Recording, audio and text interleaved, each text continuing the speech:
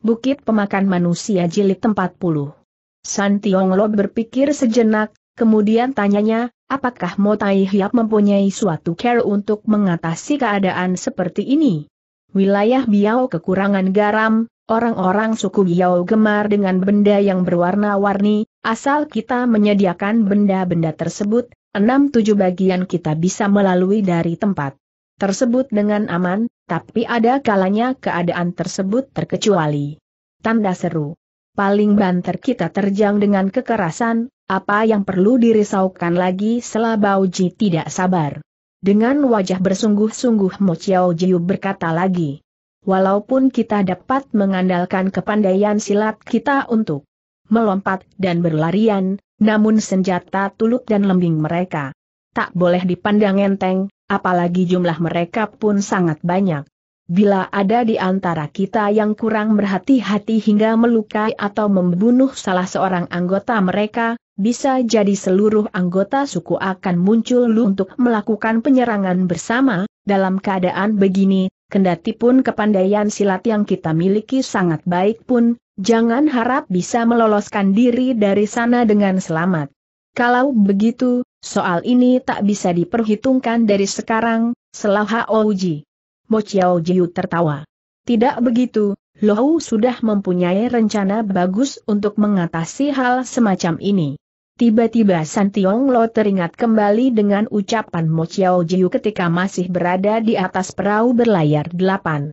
Sementara ia mendengar Mao Tin Hang sedang kabur menuju ke wilayah Biao, dia telah mengatakan kalau jalan ke sana merupakan jalan kematian baginya. Maka anak muda itu berseru.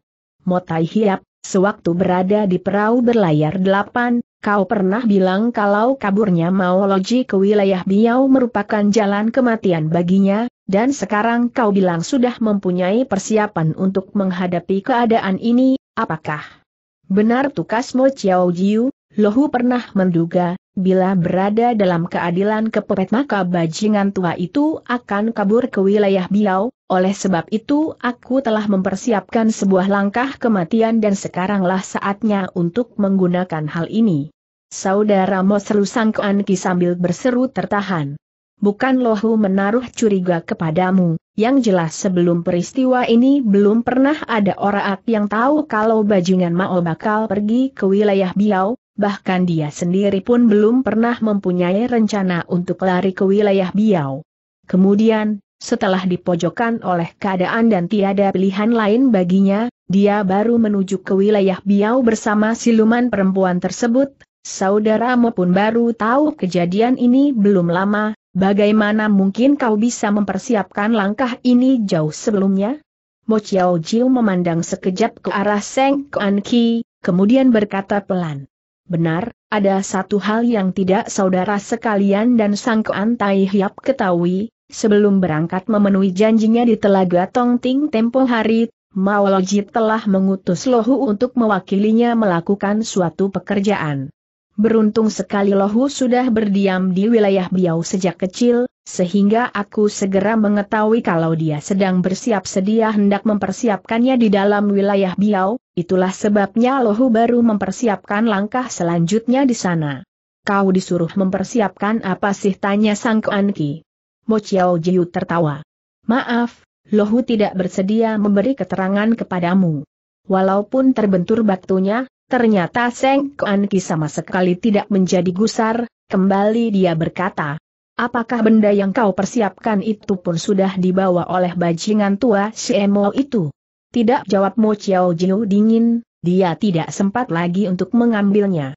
Berbicara sampai di situ, tiba-tiba Mo Chiao Jiu menyaksikan Hao Uji seperti hendak bersuara dia pun seakan-akan sudah dapat menduga apa yang hendak dibicarakan oleh Hao Uji, maka kembali dia berkata, justru karena dia tidak berkesempatan lagi untuk mengambilnya, maka Lohu pun enggan untuk membicarakan tentang persoalan ini. Apakah benda tersebut dapat dipakai untuk mencelakai orang tanya Bauji pula secara belak-belakan? Tentu saja, bahkan besar sekali kemampuannya untuk mencelakai orang, katanya. Mendadak Santionglo seperti memahami akan sesuatu, dia segera berseru pula. Motai Hiap, Apakah benda itu telah punah Mo Chiao Jiu manggut-manggut? Tatkala aku memperoleh laporan rahasia dari saudara Kang, saudara Tio dan saudara Cukat, aku segera memusnahkan benda itu, bahkan seketika itu juga bersama saudara Ban dan saudara Tia berangkat menuju ke bukit pemakan manusia. Asal benda itu sudah musnah, memang paling baik jangan diterangkan lagi, kata Santiong Lo kemudian sambil tertawa. Kemudian setelah berhenti sejenak dan memandang sekejap semua rekannya, Kembali dia menambahkan. Mungkin Mo Tai Hiap bersedia untuk menerangkan tentang persiapan yang kau lakukan. Yaa, tentu saja harus kukatakan, di saat kita akan sampai di tempat kediaman orang-orang suku Biau berleher panjang, ada orang yang akan menyambut kita di tengah jalan, ini merupakan salah satu petunjuk jalan yang Lohu siapkan. Apakah petunjuk jalan ini mempunyai hubungan yang baik dengan kepala suku Biao berleher panjang tanya Sang Kuan Ki dengan kening berkerut. Mo Chiao Jiu segera menggelengkan kepalanya berulang kali. Aku rasa tidak, cuma petunjuk jalan itu pasti mempunyai care yang baik agar kita semua dapat menembusi tempat tersebut. Apakah cuma begini saja yang kau maksudkan sebagai persiapan itu? Sekali lagi Mo Chiao Jiu tertawa. Tentu saja masih ada yang lain, hanya saja sebelum aku berjumpa lagi dengan si petunjuk jalan itu, sehingga tidak bisa kuduga sampai di manakah taraf persiapan yang telah mereka lakukan, maka saat ini aku tak dapat memberi keterangan lagi kepada kalian semua. Oleh karena dia sudah menerangkan begini, sudah barang tentu semua orang pun merasa mempunyai semangat menghadapi musuh yang sama sehingga sekalipun tiada persiapan maupun bantuan penunjuk jalan, mereka toh harus menembusi wilayah Biau juga untuk mencapai Gua Pek Atong. Karenanya tiada orang yang banyak berbicara lagi. Pokok pembicaraan pun segera berganti, kini mereka membicarakan barang-barang yang harus mereka persiapkan. Terhadap persoalan ini pun Mo Chiao Jiu sudah membuat persiapan yang matang, dia segera menyerahkan sebuah daftar. San Tiong Lo segera melakukan penelitian secara amat cermat, akhirnya dia beranggapan bahwa Mo Chiao Jiu memang seorang manusia yang punya maksud, sebab barang yang dipersiapkan menurut daftar tersebut bukan cuma komplit bahkan luar biasa terutama sekali catatan di balik daftar yang memuat pula beberapa buah lentera Hong Heng Leng, garam, gula, kain cita dan laya sebagainya boleh dibilang semuanya merupakan benda-benda yang tak boleh kekurangan di Wii Ayah Biao. Mereka serahkan daftar tersebut kepada pemilik rumah penginapan, sambil tersenyum pemilik rumah penginapan memberitahukan kepada mereka bahwa segala sesuatunya dapat dipersiapkan esok siang, saat itulah mereka dapat segera berangkat. Dengan perasaan lega, para jago pun bersantap dan kemudian kembali ke kamarnya masing-masing untuk beristirahat. Siapa tahu Mao Tin Hang yang sudah mereka pandang enteng itu ternyata tidak ambil diam belaka, akhirnya. Pemilik rumah penginapan muncul dengan membawa daftar yang diserahkan para jago kepadanya serta sekeping uang emas, Sambil tersenyum ramah dia langsung berjalan menuju ke kamar tempat para jago berdiam diri. Siapa tahu, di saat kakinya sedang melangkah ke tengah halaman mendadak paras mukanya berubah dan menunjukkan wajah bangga campur menyeringai licik. Dengan cepat dia kembali ke kamar tidurnya di halaman belakang dan diam-diam membuka pintu ruangan. Di dalam ruangan sudah terdapat seseorang yang sedang menantikan kedatangannya, Cepat-cepat dia mengunci kamarnya dan berjalan menuju ke ruang kegelapan. Di ruang itu terdapat lentera, lentera diletakkan di atas meja, di sisi meja duduklah seseorang dia tak lain adalah Mao Tin Hong. Oh, oh, oh. Sebelum berbicara pemilik rumah penginapan tertawa lebih dulu, dia serahkan daftar tersebut kepada Mao Tin Hong, kemudian serunya. Segala sesuatunya memang persis seperti apa yang diduga oleh majikan. Mao Tin Hang tertawa, katanya sambil menerima daftar tersebut, Lo Cheng inilah jasa yang luar biasa darimu. Pemilik rumah penginapan itu si Cheng bernama Bun Keng, dulunya adalah seorang perampok ulung dari wilayah Tin Lam. Mao Tin Hang pernah menyelamatkan selembar jiwanya. Sedang Mao Tin Hang waktu itu masih merupakan seorang pendekar besar yang berjiwa jujur dan gagah. Semenjak peristiwa itu ah, Cheng Bun Keng sudah berbakti kepada Mao Tin Hang.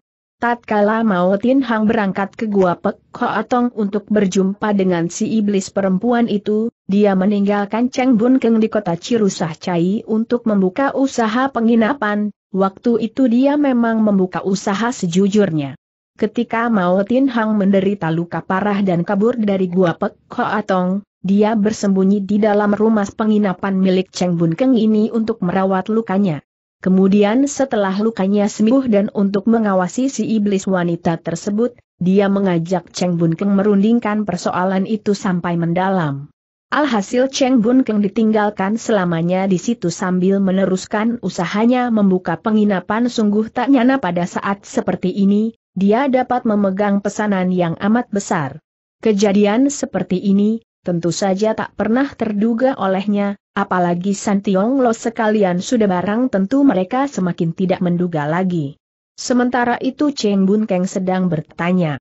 Majikan, menurut pendapatmu apa yang harus kita lakukan sekarang ini? Selesai memeriksa isi daftar tersebut, Mao Tin Hang berkata, kita mempunyai banyak tempat untuk dipakai sebagai tempat.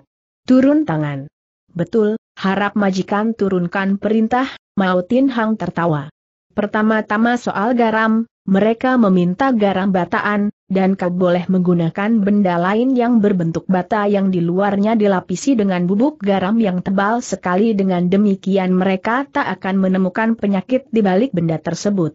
Ya betul seru Cheng Bun Keng sambil tertawa, sesampainya di Korawa, kepala suku Biao berleher panjang, dan mereka mengetahui akan keadaan tersebut, sudah pasti orang-orang tersebut akan dikejarnya hingga terjerumus dalam lembah-lembah beracun he he he he.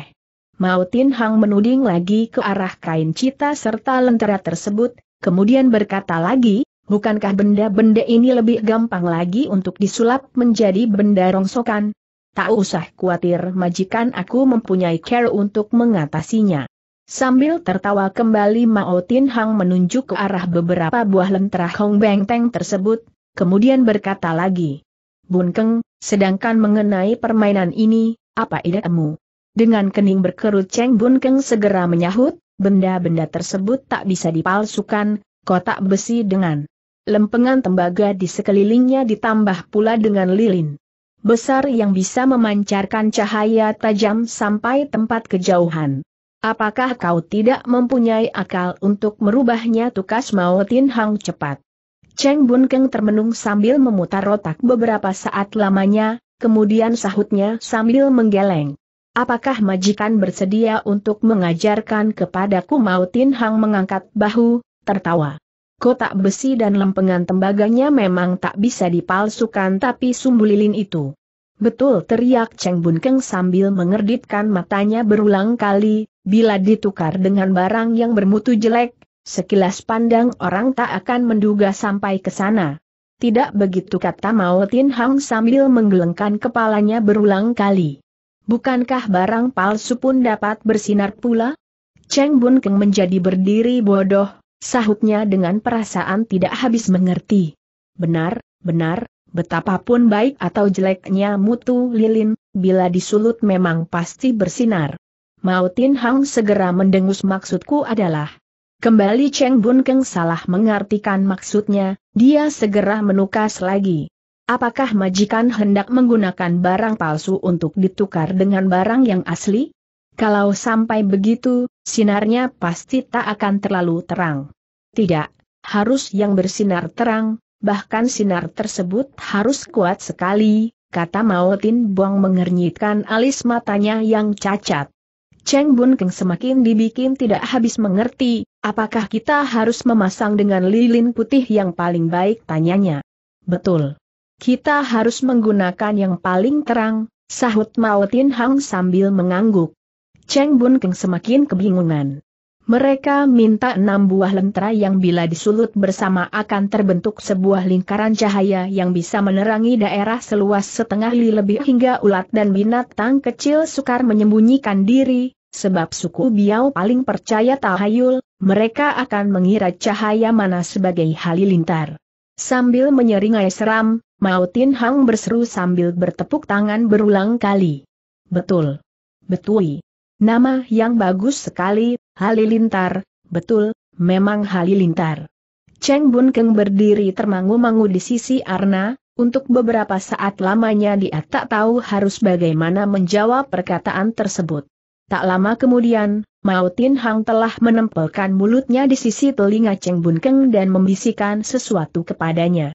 Kemudian tampak Cheng Bun Keng terkejut lalu berseru, katanya kemudian sambil menganggukkan kepalanya berulang kali.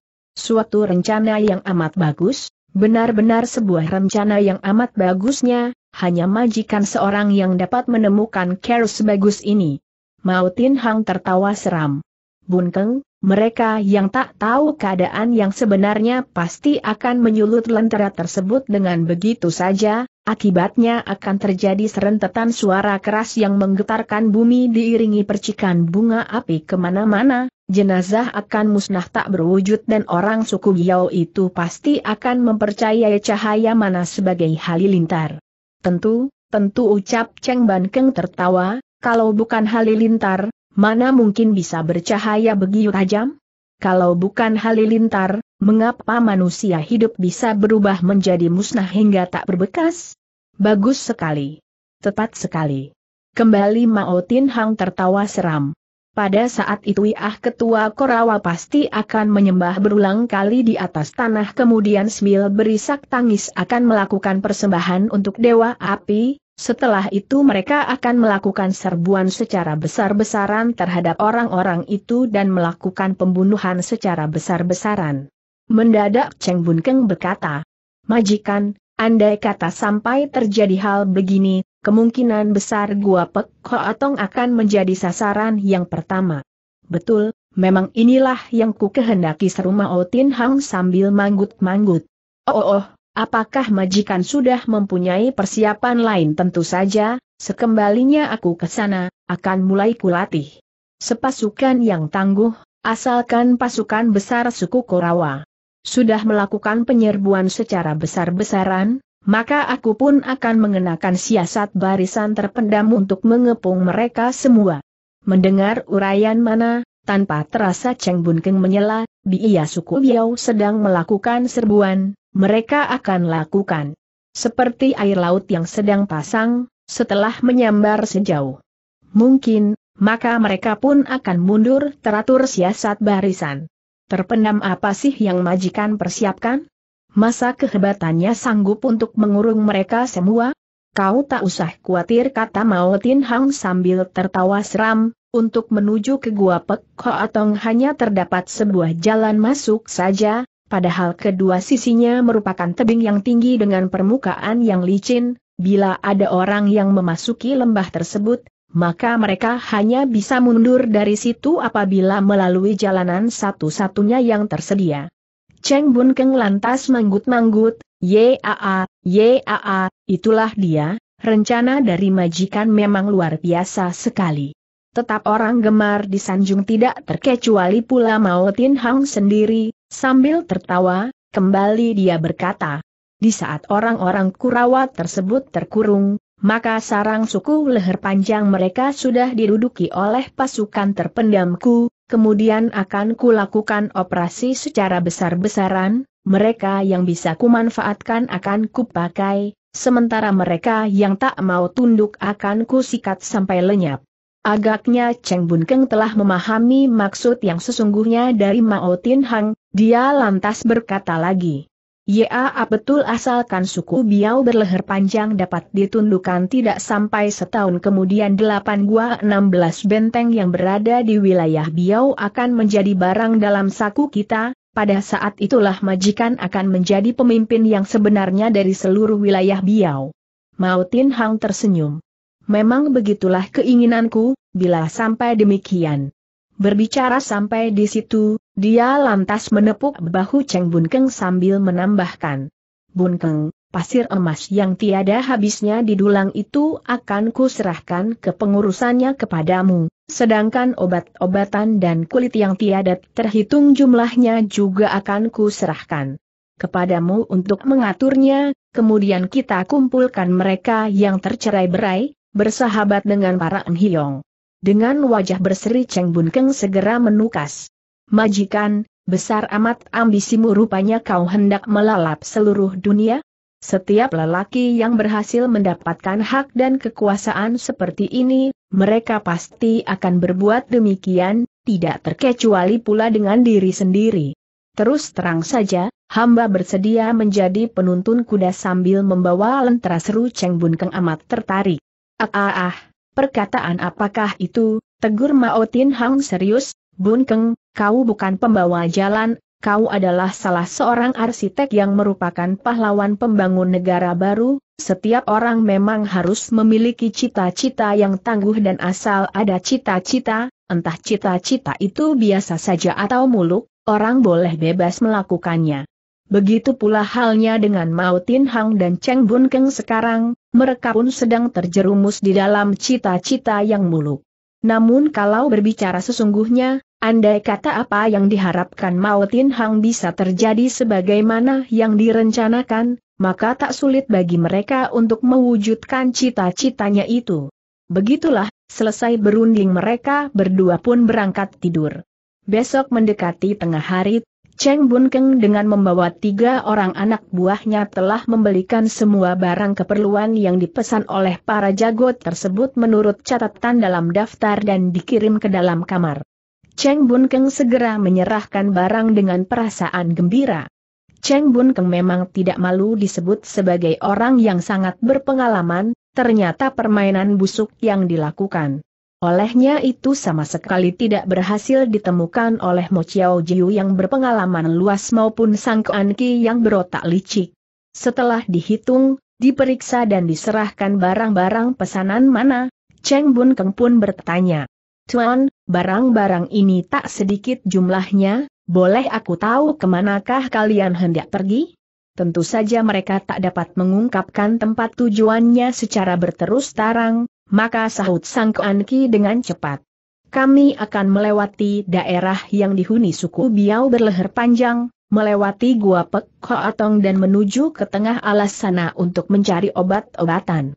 Dengan wajah serius Chang Bun Keng berkata kemudian, Oh, oh, rupanya kekoan sekalian hendak mencari obat-obatan, kalau begitu dalam daftar seharusnya dicantumkan pula benda-benda seperti sekop, cangkul. Rombongan kami terbagi menjadi dua bagian selas Ki dengan cepat, rombongan pertama sudah berangkat lebih dulu masuk gunung dengan membawa peralatan berat itu, sedangkan kami hanya mempersiapkan rangsam saja, jadi tak usah membawa lagi. Belum selesai dia berkata, Cheng Bun Keng telah manggut-manggut sambil tertawa. Oh, oh, oh, rupanya begitu. Sementara itu, Mo Chiao Jiu telah mengambil sebuah anak panah dari kotak panah, kemudian berkata, Sungguh indah sekali buatan anak panah ini, tak nyana kalau di sini terdapat ahli ukir-ukiran yang begitu hebat. Cheng Bun Keng tertawa. Terus terang saja kekoan, benda-benda tersebut merupakan hasil kerajinan tangan dari suku Biao. Oh, oh, oh Rupanya begitu seru Mo Chiao Jiu. Kemudian setelah meletakkan kembali anak panah tersebut ke tempatnya, kembali dia berkata, Tian Teng, pemilik penginapan, dalam daftar yang kuberikan kepadamu kemarin masih terdapat kekurangan beberapa macam barang, kini waktu yang tersedia tidak banyak lagi, apakah kau masih dapat membantuku untuk melengkapinya?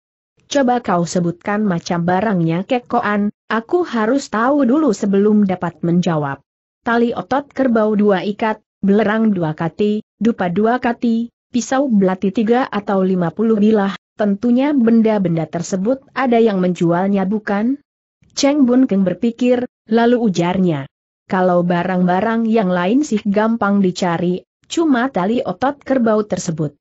Tali otot kerbau merupakan benda yang tak bisa tertinggal untuk kami, tukas Mo Chiao Jiu cepat, berapapun harganya tidak menjadi soal.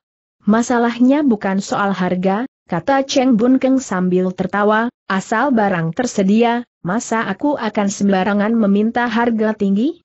Begini saja, Aku akan mencarinya bagimu, apabila berhasil kudapatkan kekoan tak usah senang, bila gagal. Mo Chiao Jiu segera mengambil sepuluh tahil perak dan disodorkan ke tangannya. Kau harus mendapatkannya, terimalah uang pembayaran untuk tali otot kerbau tersebut, kalau kurang akan kutambah nanti bila lebih anggap saja sebagai uang kecil buat pelayan-pelayananmu. Setelah menerima uang, sambil tersenyum Cheng Bun Keng segera beranjak pergi. Baru saja Cheng Bun Keng berlalu, Hao Ji telah buka suara sambil bertanya. Motai Hilap, buat apa kau memesan tali otot kerbau sebanyak itu? Mo Chiao Jiu segera tertawa. Hao Hiap, teknik yang jitu tak boleh diwariskan orang lain, maaf kalau Lohu harus jual mahal dulu. Oleh karena Mo Chiao Jiu telah berkata demikian, sudah barang tentu Hao Uji tidak banyak bertanya lagi. Sekali lagi mereka mengecek barang kebutuhan yang diperlukan lalu dimasukkan ke dalam buntalan. Tengah hari itu, di saat mereka sedang bersantap siang, Cheng Bun Keng muncul kembali. Rupanya semua barang yang dibutuhkan telah didapat semua, tentu saja Mo Chiao Jiu menjadi sangat gembira. Pada saat itulah, Cheng Bun Keng bertanya, Kek Koan sekalian tolong tanya siapakah di antara kalian yang bertindak sebagai pemimpin. Dialah orangnya kata Sang Koan Ki sambil menuding ke arah Santiong Lo. Dalam waktu sekejap Santiong Lo telah berubah menjadi sebagai majikan muda dari para saudagar obat-obatan, tentu saja hal ini merupakan hasil dari perundingan mereka, itulah sebabnya Santiong Lo bertanya. Ciang Kue, ada urusan apa mencariku? Aha, hanya urusan kecil, tapi sangat penting pula artinya. Oha, kalau begitu harap kau utarakan, dengan amat sungkan Cheng Bun Keng berkata. Xiao Loji hanya ingin bertanya apakah persiapan kalian sudah cukup matang? Sebab perjalanan Hekkoan kali ini cukup jauh mana berbahaya lagi, konon bukan suatu pekerjaan yang gampang untuk menembusi daerah yang dihuni oleh Kurawa. Tempat apakah yang dimaksudkan sebagai Kurawa itu tanya Santionglo berlagak Pailon. Bukan tempat. Kurawa adalah nama dari kepala suku Biau berleher panjang. Yaa, Betul kata Santiong Lo kemudian sambil manggut-manggut. Suku Biao dari kelompok ini memang cukup buas. Apakah Kekoan mempunyai tenaga pengangkut untuk membawa begitu banyak barang? Santiong Lo mengerti, yang dimaksudkan sebagai tenaga pengangkut oleh pemilik rumah penginapan itu bukan kerbau atau kuda melainkan kulit panggul, khususnya daerah Soateng dari suku Biao, pengangkut barang yang utama bukan kereta atau binatang, melainkan pekerja kasar yang terdiri dari lelaki kekar. Pemuda itu memandang sekejap ke arah tiga buah bungkusan besar yang tergeletak di tanah kemudian menyaut. Tidak ada, kami memang ingin memohon bantuanmu untuk memecahkan masalah ini. Beginilah keadaannya, sebelum segalanya terjadi Siologi perlu berbicara lebih dulu, tenaga kasar si ada, Cuma mereka hanya bisa membawakan barang kalian sampai di jurang Hui Ingkian saja. San Tiong Lok kurang begitu tahu tentang nama-nama tempat di wilayah Biao, tanpa terasa dia berpaling ke arah Mo Chiao Jiu. Apakah Hui Engkian terletak di tepi perbatasan dengan wilayah yang dihuni suku Biao berleher panjang? Yaa, benar, Cheng Bun Kian mengangguk.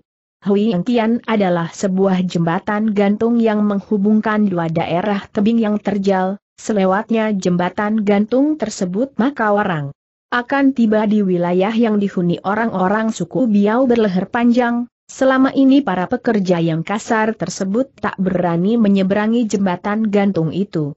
Mengapa demikian meski sudah tahu, Mo Chiao Jiu masih saja pura-pura bertanya. Dengan wajah serius Cheng Bun Keng berkata pertama, yang dimaksudkan sebagai jembatas gantung itu sesungguhnya merupakan sebuah jembatan yang terdiri dari seutas rantai besi yang panjangnya mencapai 36 kaki. Jembatan mana merupakan satu-satunya jembatan yang menghubungkan daerah yang dihuni orang-orang suku Biau rambut panjang dengan orang-orang suku Biau leher panjang. Padahal para pekerja kasar itu hidup menderita dan penuh percobaan, mereka hanya mengandalkan tubuh yang kekar dengan tenaga yang besar belaka, kalau disuruh menyeberangi jembatan gantung tersebut, tentu saja mereka tidak memiliki kepandaian sebesar itu, mereka tak mampu untuk menyeberanginya. Kedua, Kurawa dari suku Biau berleher panjang tidak kenal aturan, ada kalanya dia memang bisa diajak bicara, tapi ada kalanya dia enggan menjual muka kepada siapa pun, salah-salah mereka akan membunuh orang semaunya sendiri, oleh sebab itu. Baiklah tukas Mo Chiao Jiu dengan cepat, kalau begitu kita pakai jeram Hui Engkian sebatas tapal batas. Cheng Bun Keng manggut-manggut kembali, baiklah, kita tetapkan dengan sepatah kata ini, berapa banyak pekerja kasar yang Kek Hoan butuhkan? Bagaimana kalau lima orang tanya Mo Chiao Jiu? Cheng Bun Keng segera berkerut kening. Tiga orang pun sudah cukup, oat kos yang mereka minta tidak kecil? Mo Chiao Jiu segera tertawa. Kami tidak mempersoalkan berapa yang harus dibayar, kalau dua orang lebih banyak berarti mereka bisa bekerja sambil bergilir, otomatis mereka pun bisa berjalan lebih cepat lagi, ditambah pula kita sudah ada rombongan yang membuka jalan lebih dulu. Oh oh, oh.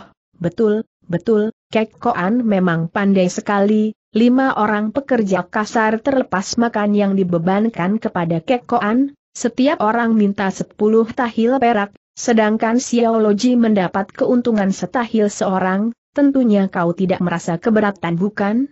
Mo Chiao Jiu segera terawa terbahak. Haa tidak banyak kapan orang-orang itu baru siap dalam setengah jam mendatang mereka sudah akan siap, Xiao. Ioji akan mencarikan delapan dan terserah Kekoan akan memilihnya sendiri, perangai serta tindak tanduk dari para pekerja kasar itu pun merupakan jaminan dari penginapan kami. Ciang Kue, kau memang pandai berdagang, seru Mochi Tuji kemudian sambil menepuk bahu Cheng Bun Keng. Baiklah, kita tetapkan demikian saja. Cheng Bun Keng segera mohon diri dan berlalu, Betui juga dalam setengah jam kemudian dia sudah muncul dengan membawa delapan orang lelaki biao yang kekar. Dalam sekilas pandangan saja Mo Chiao Jiu dapat mengenali kalau pekerja-pekerja kasar itu merupakan suku Biao berdarah campuram, setengah berdarah bangsa Han dan setengah lagi berdarah suku Biao. Ternyata Cheng Bun Keng tidak berbohong, ia menerangkan, mereka adalah bangsa Han yang dilahirkan oleh ibu suku Biao. Selain kekar dan berotot, wataknya pun baik sekali, bahasa Han, maupun bahasa Biao mereka kuasa penuh, adat istiadat kedua suku pun dipahami benar, mereka akan menyenangkan kalian semua sepanjang jalan. Mo Chiao Jiu manggut-manggut. Cara kerja Cian Kue memang luar biasa sekali, sungguh membuat orang merasa kagum. Sambil berkata, Mo Chiao Jiu mengeluarkan 50 tahil perak dan diserahkan kepada pemilik rumah penginapan itu seraya berkata, Inilah hongkos mereka, harap kau terima. Tapi Cheng Bun Keng menggelengkan kepala sambil berkata, lebih baik Kek Hoan memilih orang lebih dahulu sebelum membicarakan soal lain. Mo Chiao Jiu memandang sekejap ke arah San Tiong Lo, si anak muda itu pun berkata, lebih baik Mo tua saja yang memilih, aku tahu tak berakal salah. Maka Mo Chiao Jiu memilih lima orang di antaranya sementara tiga orang lainnya mengundurkan diri. Mo Chiao Jiu kembali meminta kepada Cheng Bun Keng menerima 50 tahil perak itu, namun Cheng Bun Kent menggeleng dan cuma menerima 20 tahil perak, kemudian ujarnya dengan suara nyaring.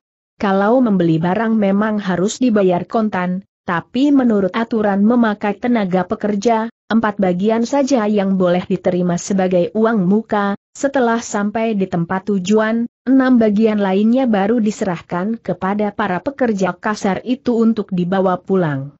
Usaha dagang seperti ini, boleh dibilang adil sekali dan sama sekali tiada usaha bermaksud untuk menipu.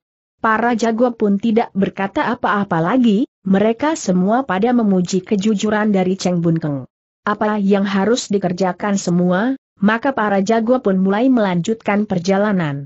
Semua barang bawaan mereka, kecuali senjata tajam dan senjata rahasia, diserahkan semua kepada para pekerja kasar itu untuk membawanya, kemudian berangkatlah rombongan tersebut menelusuri jalan gunung.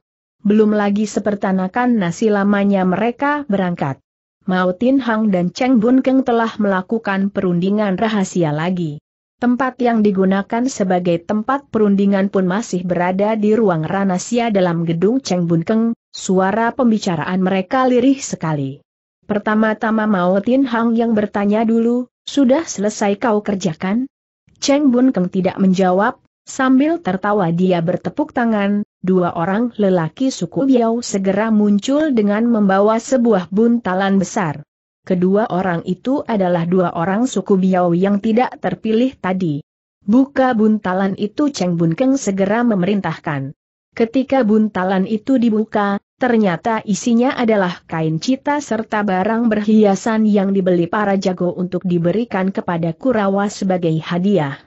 Sambil tersenyum bangga Mao Tin Hang berkata, bagaimana caramu untuk menukar benda-benda tersebut Cheng Bun Keng tertawa. Setelah mereka periksa isinya dan dibungkus kembali, maka dengan mudah sekali kami telah menukarnya dengan benda lain. Benda apakah yang kau tukar dengan barang-barang ini? Dengan bangga Cheng Bun Keng tertawa terkekeh-kekeh. Majikan, mimpi pun kau tak akan menduganya, apa yang menjadi pantangan suku Yao hamba pun menukar benda tersebut dengan pantangan mereka, tanggung Kurawa akan naik pitam setelah melihatnya. Mao Tin Hang tertawa terbahak-bahak. Haah, haah, haah, haah, bagus, bagus sekali, Bun Keng, inilah jasa besarmu. Kemudian setelah berhenti sejenak, dia berkata lebih jauh, selain itu, lentera dan garam bata. Majikan tak usah khawatir tukas Cheng Bun Keng, Kurawa mempunyai halilintar dan guntur yang bisa dilihat dan didengar, dia bakal mempunyai benda yang bisa membersihkan kulit tubuh mereka yang bau itu. Perkataan tersebut kontan saja membuat Mao Tin Hang mendongakkan kepalanya dan tertawa terbahak-bahak. Dua orang lelaki suku Yao itu belum mengundurkan diri, dalam gembiranya Mao Tin Hang segera berkata, Barang-barang di dalam bungkusan ini tak ada gunanya, hadiahkan saja kepada dua orang-orang anak jadah tersebut. Cheng Bun Keng ingin mencegah perkataan tersebut, tapi perkataan anak jadah dari Mao Tin Hang sudah terlanjur diutarakan, paras muka kedua orang lelaki suku Yao itu kontan berubah hebat, sepasang tangannya dikepalkan kencang-kencang. Cheng Bun Keng segera melotot sekejap ke arah dua orang suku Yao itu, Kemudian bentaknya. Ambil dan bagi untuk kalian berdua, ayo cepat pergi. Dua orang lelaki suku Yao itu tidak memberikan pernyataan apa-apa, sambil membopong buntalan tersebut mereka segera berlalu. Sepeninggal dua orang lelaki suku Yao itu, Cheng Bun Keng baru berbisik. Majikan, mereka mengerti bahasa Han, mereka paling benci kalau ada orang memaki mereka sebagai anak jadah. Oh, oh, Rupanya mereka pun mempunyai pantangan tersebut, aku malah tidak tahu. Oleh sebab nasi sudah menjadi bubur, Cheng Bun Keng juga tak dapat berbuat apa-apa lagi. Mao Tin Hang segera mengalihkan pokok pembicaraan ke soal lain, ujarnya. Di dalam melaksanakan tugas kali ini, tiada orang ketiga yang tahu, kau memang bekerja amat bagus. Majikan kau tidak tahu, kelima orang pekerja kasar serta dua orang yang barusan berlalu itu hampir rata-rata memiliki kepandaian hebat, kalau dihitung mereka masih termasuk muridku, hamba telah berpesan, di tengah jalan nanti mereka harus memberi pelajaran yang berat lebih dulu terhadap lawan. Mao Tin Hang makin merasa bangga lagi, katanya kemudian, kalau begitu, kawanan keparat tersebut sudah pasti akan mampus dalam perjalanan ini. Ya betul. Mungkin bisa pergi tak akan kembali lagi, sambung Cheng Bun Keng ketawa. Mao Tin Hang segera manggut-manggut, katanya. Sebenarnya Lohu dapat menghabisi mereka semua sewaktu berada di peternakan kudanya Lok Xiang, sayang aku berbuat teledor dengan melupakan seorang Hao Uji, sehingga akibatnya usahaku mengalami kegagalan total. Sekarang, HMMM dapat kuduga meskipun kepandaian silat mereka lebih hebat, kecerdasan mereka lebih hebat pun tak akan mereka menyangka akan terjadinya berbagai perubahan tersebut, begitu peristiwa mana mulai berlangsung maka keadaan pun akan terlihat nyata. Berbicara sampai di situ, dia seolah-olah melihat para jago telah terkurung di wilayah Biau dan satu persatu mesti terbunuh secara mengenaskan, oleh sebab itu ucapannya terhenti di tengah jalan dan tertawa terkekeh-kekeh. Majikan, kapan kau hendak berangkat bisik Cheng Bun Keng tiba-tiba dengan suara lirih. Mao Tin Leong berpikir sebentar, kemudian sahutnya. Aku pikir lebih baik berangkat sekarang juga, khawatirnya kalau sampai tak bisa menyusul mereka. Hamba telah mempersiapkan semua barang kebutuhan majikan, kini tinggal menanti perintah dari majikan saja. Baik, mari kita berangkat kata Mautin Hang kemudian sambil bangkit berdiri. Cheng Bun Keng pun buru-buru turut bangun, kemudian katanya, hamba akan suruh mereka untuk mengambil barang-barang tersebut. Banyakkah barangnya? Cheng Bun Keng menggelengkan kepalanya. Tidak banyak, jawabnya, bahan makanan minuman ditambah berapa buah lentera Hong Benteng dan lima batang lilin untuk lampu. Mao Tio Hang segera manggut-manggut. Jikalau begitu mari kita mengambil barang-barang itu dan kau boleh menghantarku sampai di depan sana, sebab sepanjang jalan aku masih ada persoalan yang mungkin akan dibicarakan denganmu, daripada kelupaan nanti. Tentu saja, tentu saja, sahut Cheng Bun Keng dengan hormat. Hamba memang bermaksud untuk menghantar majikan sampai di kota Ginsik Cai. Mao Tin Heng menggelengkan kepalanya, tidak usah, setelah lewat kota Kim Sah Cai kau boleh segera pulang. Terserah perintah majikan. Sembari berkata, mereka berdua segera berangkat menuju ke arah depan. Setelah mengambil barang, oleh sebab mereka telah bersantap siang mereka pun segera berangkat. Cheng Bun Keng memanggil dua orang kepercayaannya sambil berpesan beberapa patah kata, kemudian dengan menemani Ma Otin Hang segera berangkat. Kim Sah Chai sudah dilewati sejauh 35 li lebih, kini terbentang jalan gunung beralas batu sepanjang 20 i, tempat ini merupakan jalan raya penghubung Kim Sah Chai dengan Ginsik Chai, daerah yang sepi dari pengunjung, meski sulit untuk ditempuh namun sama sekali tidak terbahaya. Selewatnya jalan raya sepanjang 20 li ini, orang bersikap halus dan sopan, tidak mengusik gadis suku Biau atau kelewat tidak tahu aturan, biasanya mereka akan sampai di tempat tujuan dengan aman. Tapi, setelah melalui Ginsik Cai dan melangkah menuju ke Gua Tionghoa Biau, orang harus lebih berhati-hati lagi, sebab mulai saat itu yang berlaku hanya undang-undang suku Biau, bukan hukum bangsa Han. Waktu itu, San Tiong Lo sekalian telah berhasil melewati Ginsik Cai dengan selamat.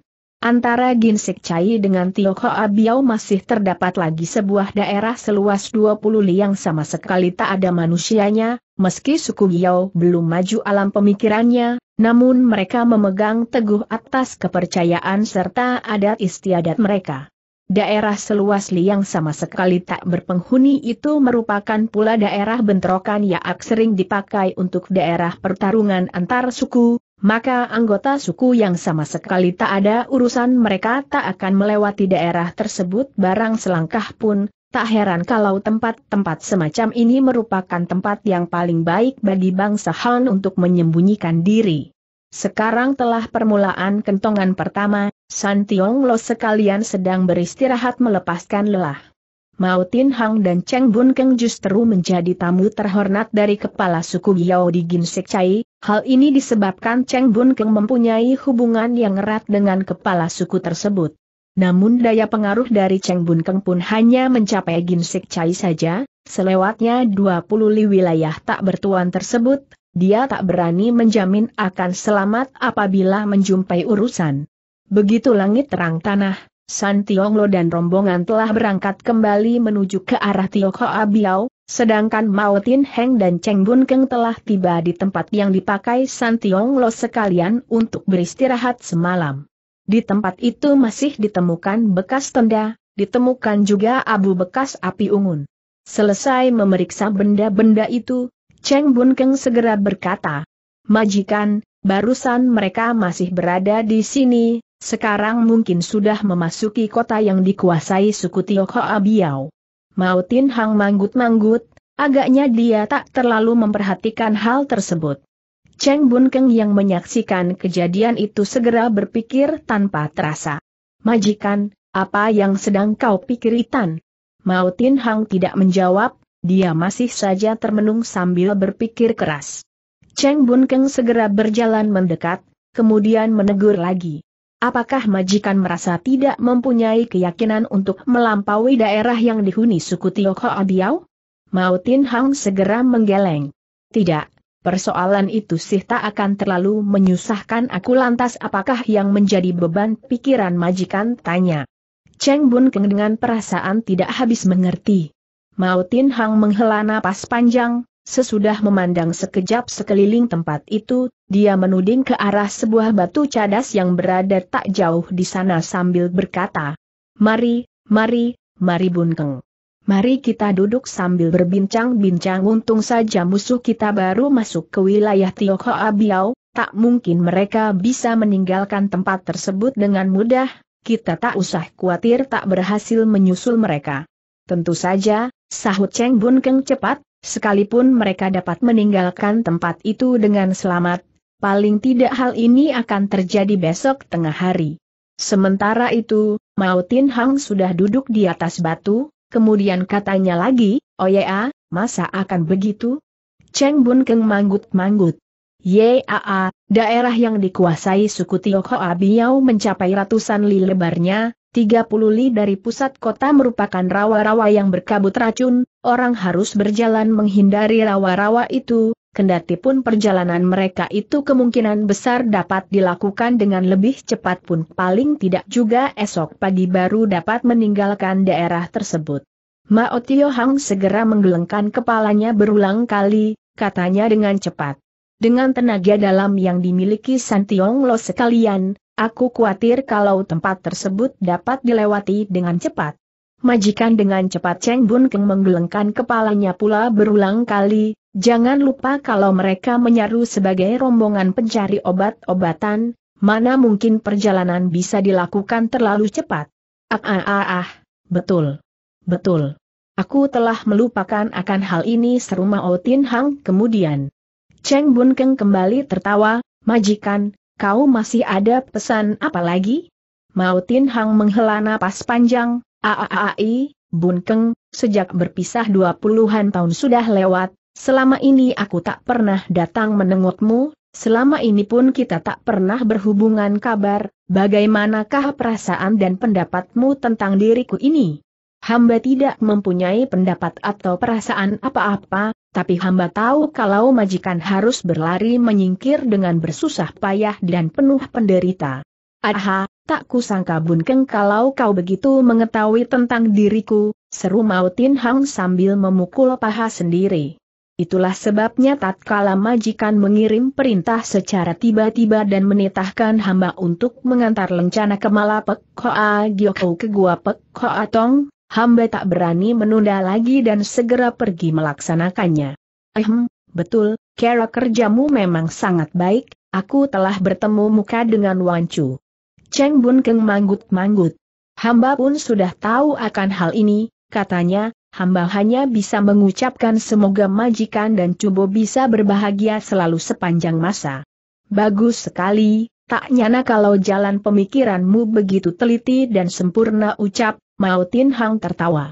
Kemudian setelah berhenti sejenak, Mao Tin Hang mengalihkan sorot matanya ke tempat kejauhan sana, kemudian katanya lagi. Seandainya setiap anak buahku seperti kau semua, hari ini aku pun tak usah kabur ke wilayah Biao yang gersang dan terpencil ini aaai, kalau dibicarakan sungguh menggemaskan hati. Cheng Bun Keng tak dapat menjawab pertanyaan tersebut, Terpaksa dia hanya membungkam diri dalam seribu bahasa. Mao Tin Hang memandang sekejap ke arahnya, lalu berkata lebih lanjut. Bun Keng, tahukah kau selama dua puluhan tahun ini aku telah berhasil membangun suatu karya besar yang tiada terhingga besarnya di daratan Tionggoan sedemikian luasnya kekuasaanku sehingga hampir saja menjadi seorang bulim bengcu yang menguasai seluruh jagat. Majikan gagah perkasa dan cerdas tentu saja kedudukan tersebut pantas untuk kau duduki, kata Cheng Bun Keng dengan hormat. Mao Tin Hang mendengus. HMMM siapa tahu oleh pengkhianatan-pengkhianatan dari anak buahku, segala sesuatunya ludas dan lenyap tak berbekas. Di manakah bajingan-bajingan itu sekarang? yang sudah mampus tak usah dibicarakan, sedang yang hidup sudah kasaksikan semua, ucap Mao Tin Hang dingin. Cheng Bun Keng menjadi tertegun, apakah orang si Sandan? Sebelum perkataan itu selesai diucapkan, Mao Tin Hang telah menukas lebih dulu. Tiga orang pemuda yang kau jumpai adalah musuh besarku, Bun Keng. Aku tidak ingin mengelabui dirimu siapa sih di antara manusia-manusia yang berkelana dalam dunia persilatan tidak mempunyai musuh besar kejadian semacam ini toh lumrah. Tapi gadis itu merupakan putri angkatku tak nyana kalau dia mempercayai perkataan orang dan terpikat oleh benih cinta buta sehingga akhirnya aku pun dihianati, bentengku yang tangguh dan kuat bagaikan baja pun dipersembahkan kepada orang lain dengan begitu saja. Sementara si tua bangkat tersebut sebenarnya adalah kakak misanku, sebenarnya dia amat rudin sehingga hidupnya sengsara, akulah yang menyelamatkan jiwanya serta memelihara di rumah, apa mau dibilang dia tua orangnya tidak tua hatinya, ternyata secara diam-diam mengincar biniku. Majikan, mengapa tidak kau katakan sedari tadi? Tahu begini, aku tak tak akan membiarkan mereka memasuki daerah Biau dalam keadaan hidup, ucap Cheng Bun Keng dengan keras. Mao Tin Hang mengulapkan tangannya mencegah dia berkata lebih jauh, kemudian ucapnya lagi. Sedangkan kakek bungkuk tersebut bernama Mo Chiao Jiu, sebetulnya dia adalah orang kepercayaanku, setiap perkataannya selalu kuturuti, siapa tahu akhirnya dia toh mengkhianati aku juga. Lima orang lainnya merupakan sobat karib yang paling kupercayai, mereka bernama Lak Yeu, sayang berhubung peraturanku amat ketat. Diam-diam dia telah bersekongkol dengan musuh yang membuat aku tak mampu berkutik dan tancapkan kaki lagi di daratan Tionggoan. Dengan penuh perasaan dendam Cheng Bun Keng mendengus. Majikan, yang sudah lewat biarkan saja lewat, hari depan masih bisa dikejar, kawanan manusia laknat yang mengkhianati dirimu itu. Tak akan bisa hidup bebas meninggalkan daerah Biau, sekalipun mereka dapat lolos dengan selamat, hamba pun. Tidak, aku harus membunuh mereka dengan tanganku sendiri seru Mao Tin Hang sambil mengulapkan tangannya. Cheng Bun Keng segera mengiyakan dan tidak berbicara lagi. Sementara itu, Mao Tin Hang telah berkata lagi sesudah berhenti sejenak. Kini, aku sudah dipaksa untuk kabur ke wilayah Biau, Bun Keng, aku merasa benar-benar sudah dipojokkan dan tak mampu untuk kabur ke lain tempat lagi. Tidak majikan, Cheng Bun Keng menggeleng di dalam sana masih terdapat cubo dengan kekuasaan yang tanpa tandingan, sedangkan di luar masih ada hamba yang bisa menggunakan uang untuk mencari tenaga, selanjutnya dunia persilatan masih tetap menjadi milik majikan Mao Tin Hang menghela napas panjang. Aaii, ambisiku sekarang sudah mendekati saat padam, aku sudah menjadi seorang penakut. Apa yang majikan takuti? Hamba tidak percaya kalau musuh memiliki kemampuan. Sekalipun musuh lebih ganas, belum tentu aku bisa kalah dengan mereka, mengapa aku harus takut kepada orang-orang itu tukas mau Tin Hang cepat. Dengan perasaan keheranan Cheng Bun Keng segera bertanya, kalau toh demikian, apa yang majikan takuti? Aku takut kalau aku dikhianati oleh anak buahku Cheng Bun Keng segera menghembuskan napas panjang. Aaai, pepatah kuno mengatakan, cuaca tahu kalau cemara tahan salju, sobat sejati tahu akan susahnya teman, apalagi manusia-manusia yang tak tahu malu itu toh sudah pergi dari majikan sekarang. Sekalipun demikian tapi pengalaman di masa lampau masih selalu terbayang-bayang di depan mataku tukas mau Tin Hang lagi. Cheng Bun Keng segera berkerut kening. Untung saja saat ini majikan telah menjauhi kawanan manusia rendah tersebut. Sudahlah mau Tin Hang tertawa getir, yang sudah lewat tak usah dibicarakan lagi. Setelah berhenti sejenak dan memperhatikan Cheng Bun Keng beberapa saat, dia berkata lagi. Bun Keng, ada satu masalah aku merasa perlu untuk merundingkannya denganmu. Silahkan majikan memberi perintah.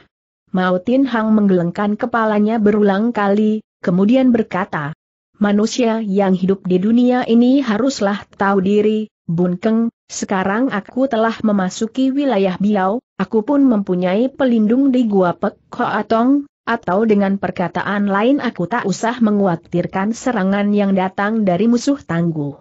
Tapi kedatanganku ke wilayah Biau sekarang penting sekali artinya, Aku khawatir kalau berita kedatanganku bocor dan diketahui lawan, untung hanya kau seorang yang mengetahui tentang persoalan ini, sebab itu bila ada orang yang menanyakan persoalan ini, kau harus menutup mulut rapat-rapat. Majikan tak usah khawatir, masa hamba akan membocorkan rahasia ini kepada orang lain. Mautin Hang menundukkan kepalanya lalu menghela napas panjang. Aha, aku sudah tidak berani mengharapkan orang lain agar tetap berpegang janji kepadaku lagi. Mendengar ucapan mana, tergerak hati Chang Bun Keng, dia segera bertanya. Apakah majikan merasa khawatir terhadap diri hamba Mao Tin Hang tertawa getir?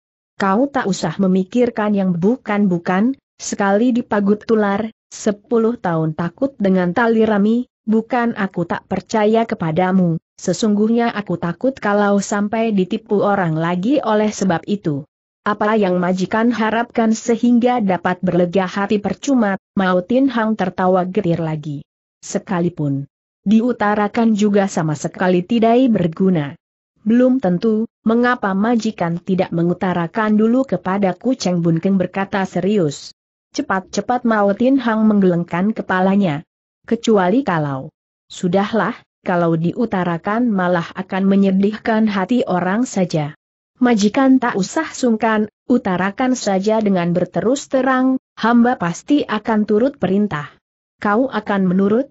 Ya pasti, biarpun harus terjun ke lautan api pun aku tak akan menampik. Mautin Hang menjadi girang sekali, serunya dengan cepat. Bun Keng, benarkah ucapanmu itu diutarakan dari lubuk hatimu sendiri? bila hamba iain di mulut lain di hati, biar Tian memunahkan diriku. Mendadak Mao Tin Hang melompat bangun kemudian sambil menepuk bahu Cheng Bun Keng dengan tangan kanannya dia berseru. Bagus, bagus, bagus. Bila kau benar-benar begitu, maka aa, dia sengaja menarik kata terakhir itu hingga panjang sekali. Kemudian telapak tangannya dijotoskan keras-keras ke atas ulu hati. Chang Bun Keng. Jeritan ngeri yang menyayatkan hati segera berkumandang memecahkan keheningan, tak ampun lagi Cheng Bun Keng jatuh terjengkang ke atas tanah. Sekujur tubuhnya segera gemetar keras, paras mukanya pucat pias seperti mayat, sepasang matanya merah membara dan peluh sebesar kacang kedelai jatuh bercucuran keluar, keadaannya mengenaskan sekali. Dengan susah payah akhirnya dia berkata, Ma'a, ma'a ajikan, menga, Mengapa kau, kau, kau belum mengerti apa sebabnya jengek Mao Tin Hang sambil tertawa seram. Waktu Cheng Bun Keng sudah tak dapat bergerak lagi, paras mukanya pun turut berubah menjadi amat tak sedap dipandang. Meskipun tak mampu berkutik, namun mulutnya masih sempat mengucapkan lagi beberapa patah kata. Me, mengapa? Mao Tin Nong tertawa seram. Heeh, heeh, heeh, dalam setahun belakangan ini Lohu sudah belajar lebih cerdik, pengalaman pahit di masa lampau tak boleh sampai terulang kembali, oleh sebab itu aku pun tak sudi terperangkap lagi seperti masa-masa lalu, nah mengertikah kau sekarang? Oh oh, oh. SUU, sudah dua, dua, puluh tahun ham, hamba bere, berbakti ke, padamu, si, selama ini AAA, aku pun sudah banyak, BE, berjasa, menga, mengapa kau ber, bersikap terhadap diriku, aku merasa tak pernah merugikan jengek Mao Tin Hang sambil tertawa dingin. Bukankah sudah kutanyakan kepadamu tadi dan kau menjawab terjun ke lautan api pun bersedia? Tanda tanya. Sekarang, mengapa kau menyesal?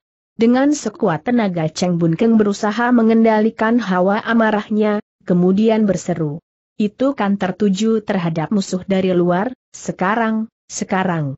Sama saja Bun Keng, kata Mao Tin Hang dingin. Nabi berkata, Kaisar menyuruh patihnya mati, patihnya tak berani membangkang, apalagi meski kau mati sekarang, aku justru akan peroleh ketenangan jadi kematianmu sesungguhnya tidak sia-sia belaka. Tentu saja kau merasa kematianmu kelewat penasaran bahkan menganggap aku tak berperasaan, padahal kau pun tak bisa menyalahkanku. Coba bayangkan, misalnya waktu dulu, seandainya aku tak menyelamatkan dirimu, sejak 20 tahun berselangkah sudah tewas, sekarang kau baru mati bahkan mati pula di tanganku, seharusnya kau pun harus dapat berlega hati. Kalau kita berbicara mundur selangkah, perbuatanku sekarang tak bisa dibilang terlampau keji, sebab kenyataanlah yang mengajarku untuk berbuat demikian, asal kau sudah mati maka aku pun tak usah mengkhawatirkan persoalan lain lagi, bukankah ai ini bagus sekali? Cheng Bun Keng menghela napas sedih, kau, tindakanmu membunuh aku, sama artinya dengan menghancurkan kesempatan untuk bangkit kembali.